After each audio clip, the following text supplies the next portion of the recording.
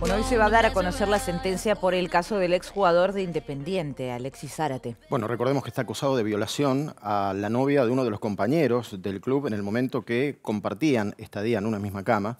Estamos en los tribunales de Lomas de Zamora. Se espera con mucha atención, Germán Condoto, lo que va a ser la sentencia. Los pedidos van desde absolución por parte de la defensa hasta 12 años por parte de la querella, ¿no?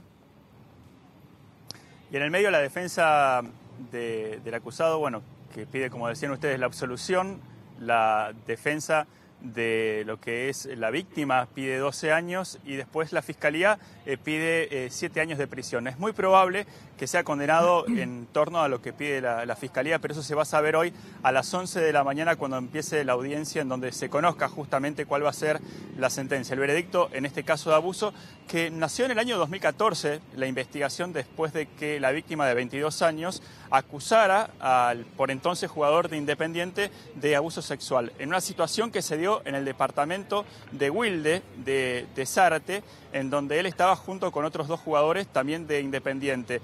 Lo que habla o lo que dice Zárate para defenderse es que fue una relación consentida. Ella dice que no fue así, que ella se despierta y lo encuentra a Zárate en su cama. Y después de ahí, bueno, va hasta la comisaría a hacer la denuncia y se inicia toda esta causa que eh, es gravísima, ¿no? Al menos la acusación porque está hablando justamente de un delito sexual.